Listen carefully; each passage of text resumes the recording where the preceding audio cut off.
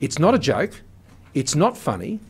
You're putting the livelihoods of hardworking Australians at risk, and you're scaring children, and you're a coward and you're a grub. And if you do that sort of thing in this country, we will come after you and we will throw the book at you.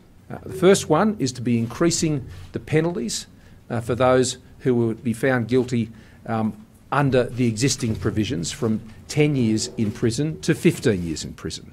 So that basically takes you uh, from someone who has uh, an offence for forgery or theft of a Commonwealth property, they currently get 10 years. That's the 10 years. That's what you get 10 years for. What you get 15 years for are things like possessing child pornography and financing terrorism. That's how seriously I take this, and that's how seriously our government takes it.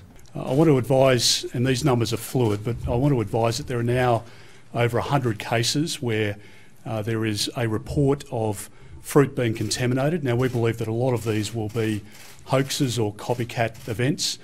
But the most important point to make here is that it, it is a diversion of resource, of policing resource, when we want to be finding the true culprits here.